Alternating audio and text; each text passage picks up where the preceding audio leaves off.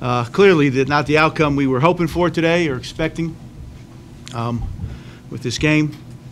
Uh, as I've often said times before, if you can't run it and can't stop the run, you're going to have a hard time winning, no matter who you play against.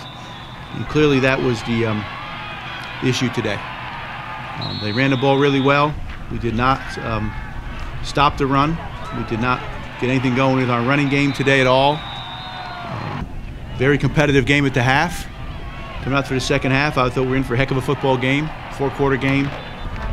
And uh, the momentum swings of the second half, we clearly didn't handle. Once they grabbed momentum, we could not get it back. And then it kept um, becoming too big a deficit for us um, to overcome. We'll have to go back to work. Um, we'll have to keep working to improve. And um, I know there's better days ahead for our team, our program, for our fans. I promise our fans that. I promise everybody there are better days ahead.